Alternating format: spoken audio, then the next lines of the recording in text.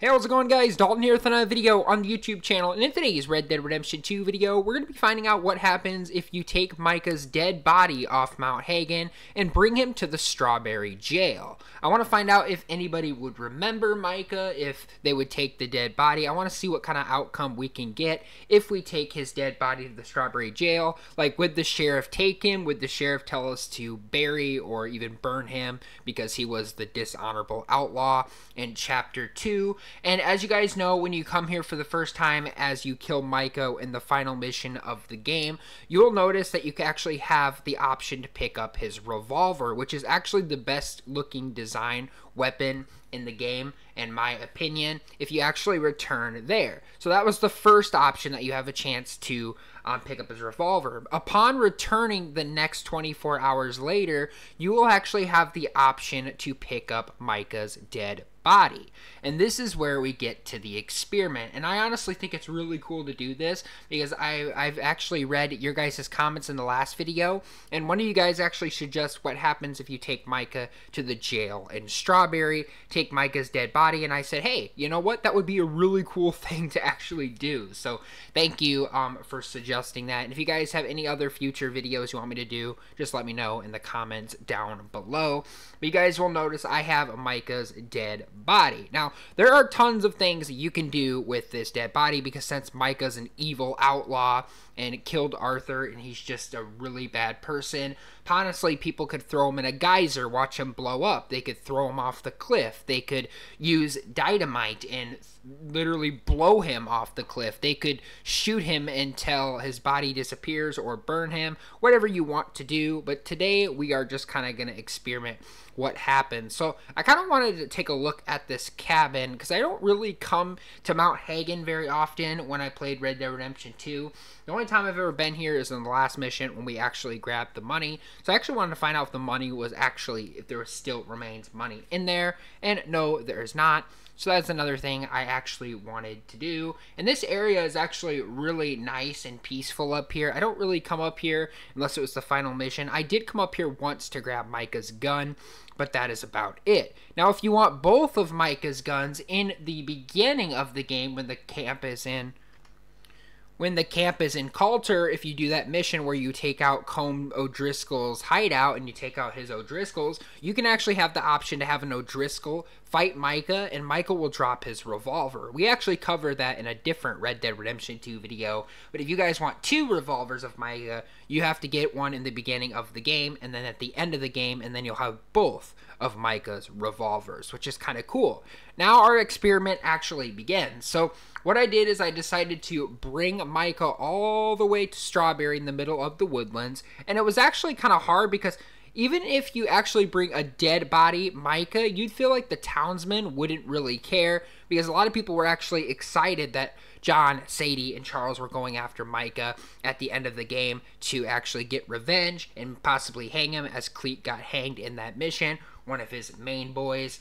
Um, but you guys can just about see here it's not that bad to actually bring a dead body, but I did notice something. I did notice that the strawberry people really did care that I brought Micah's dead body. Now, at the beginning, I thought things were going smoothly, but instead, all of a sudden, I got the law on me and I was wanted under John Marston. So I was like, why is this even happening? I mean, like, are you serious? So I had a gun. I literally had to, like, throw Micah's body on my horse, get out of here. I dropped Micah's body a couple times. I got killed by the sheriffs. I got wanted. I literally had to run away from the sheriffs. And uh, once again, the experiment kind of backfired because I dropped Micah's body, had to fight off a whole bunch of sheriffs. Then all of a sudden, I had to pick up Micah's dead body, and then I got hurt him again, and then I lost his dead body, and then I had to find it. So it was a really hard experiment nonetheless. But you guys can see I kind of had to defend off all of the sheriffs of West Elizabeth Strawberry. And my horse died. Good thing I had a medicine tonic, and I had to pick up Micah's body again, and then I got shot. So it was a really tough experiment, and I wasn't done. I was like, oh my gosh, it's like, can I ever and conquer this mission? So what I did is I decided just to run away and run away. But all and then I came back after the law was still searching for me because I wasn't done with this experiment. I was like, I want to finish bringing Micah's dead body to the Strawberry Jail. So what I did is I decided what happens if I just lasso all the sheriffs, throw them all behind, and then I lost my wanted level after ending them, and then I had a lawman underneath the eye, and then I got witnessed for kidnapping again. For a crime report. Why is it a crime to bring Micah's dead body, the evilest person of West Elizabeth, to the whole community? Why is it a crime to bring his dead body to the jail? Now, I never understood this. As you guys can see, the sheriff's kind of sitting there talking to me. I never understood this exactly. Why am I having to surrender? Why am I having to leave and getting arrested just for bringing Micah's evil dead body to the Strawberry Jail? So that's how things ended. I ended up getting arrested.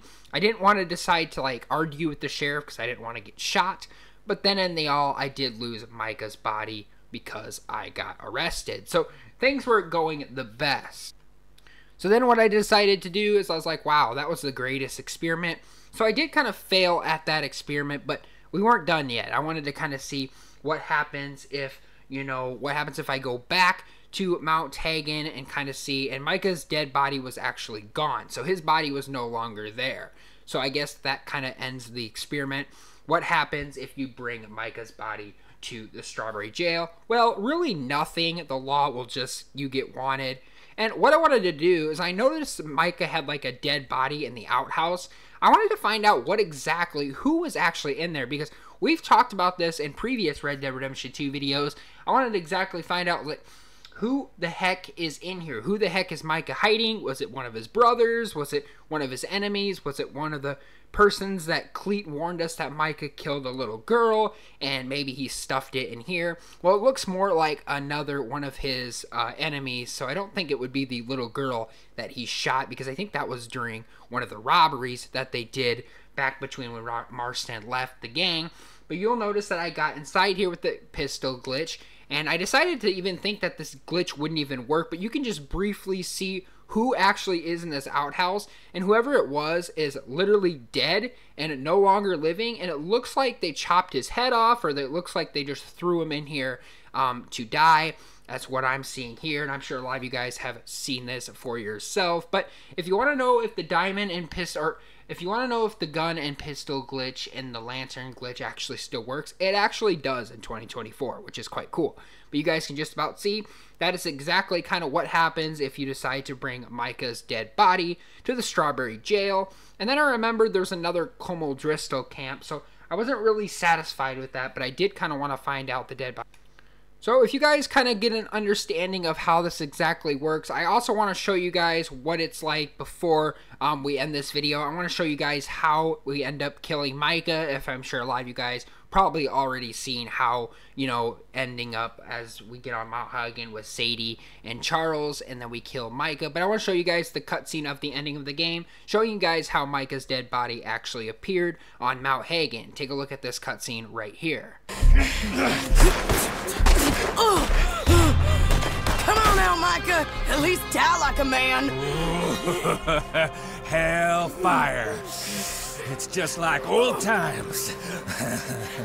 Come on. You turn around and start walking.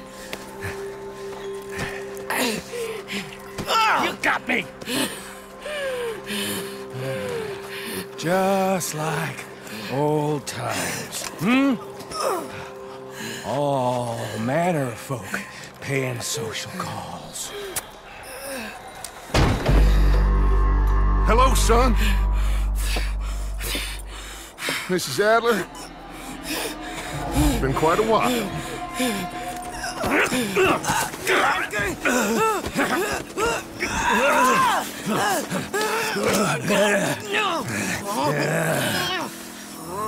Now, John. Now, what were you saying? Thank you.